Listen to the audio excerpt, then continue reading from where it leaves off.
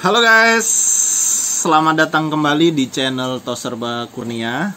Terima kasih buat teman-teman yang sudah setia menyaksikan episode demi episode video yang sudah kita buat. Semoga menginspirasi ya. Nah, di video kali ini saya mau sharing mengenai 5 tips bisnis tanpa hutang. Nah, buat teman-teman yang mungkin sedang menjalankan usaha atau yang pengen buka usaha baru mulai gitu, lagi bimbang antara uh, cari pinjaman atau menggunakan modal sendiri atau bagaimana mengelola uang yang ada. Nah, nih simak videonya ya. Oke. Nah, kita mulai dari tips yang pertama yaitu mulai dengan seadanya dan sebisanya. Jadi begini maksudnya teman-teman. Ketika kita punya uang 500 ribu gitu atau 1 juta gitu ya sudah itu yang kita mulai untuk pertama kali buka warung.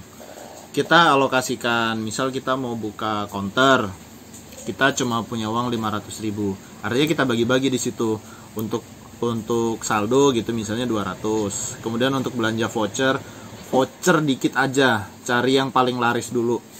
Kita pakai apa gitu misalnya. Dan kita tahu sekeliling kita yang laku apa itu aja. Belanja 100 200 ribu. Gitu.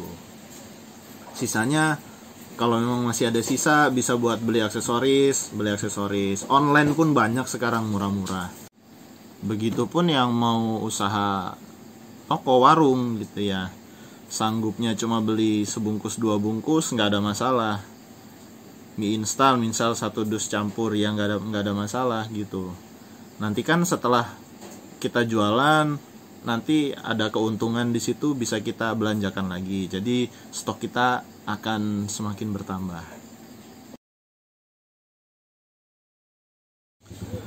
Yang kedua bertahap. Jalani prosesnya dengan sabar karena nggak ada hasil yang instan. Jadi yang kita lihat toko-toko yang sudah besar bisa jadi mereka juga awalnya ya dari merintis gitu, merintis dari nol mungkin juga eh, nggak uh, punya modal gitu. Jadi ketika kita sekarang menjalani bisnis dengan modal yang minim, ya jalani dulu prosesnya, sabar. Yang ketiga biasakan untuk menabung profit jadi berapa keuntungan yang kita dapat hari ini jangan sampai dihabiskan semua. Sisihkan sebagian untuk penambahan modal kita. Jadi lama kelamaan belanjaan kita makin banyak, stok barang kita semakin banyak.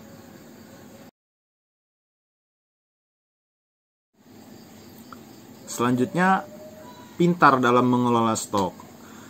Jadi jangan karena kita misal mengejar harga murah akhirnya kita stok barang banyak padahal belum tentu habisnya cepat gitu. Belum tentu barang itu lakunya cepat.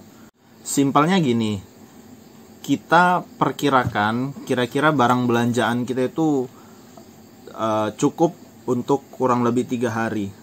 Itu aja sebenarnya udah cukup. Jadi setiap tiga hari sekali kita belanja kita belanja. Jangan sampai ada stok yang uh, kelebihan banyak gitu. Daripada kita stok barang mati lebih baik kita belikan barang-barang varian lain supaya toko kita semakin lengkap. Yang terakhir, nah ini yang paling penting. Tahan gaya hidup. Nah, biasanya godaannya di situ ketika tokonya mulai sukses, mulai kelihatan hasilnya, mulai deh berubah gaya hidupnya. Akhirnya uh, tokonya jadi nggak fokus lagi kita jadi nggak fokus lagi ngelola toko. Uh, profit yang tadinya kita tabung akhirnya berubah fungsinya. Ada yang mungkin bayar cicilan atau buat jalan-jalan. Boleh sekali-sekali jalan-jalan cuma tetap fokus untuk mengembangkan usaha. Jangan terlalu cepat puas dengan hasil yang sudah dicapai Oke guys, itu tadi ya 5 tips bagaimana caranya memulai bisnis tanpa hutang. Mudah-mudahan bisa diambil pelajaran dari situ dan bisa membantu mengembangkan bisnis teman-teman semua ya. Nanti kalau memang ini bagus respon dari teman-teman semua, insya Allah kita ada pembahasan lanjutannya ya.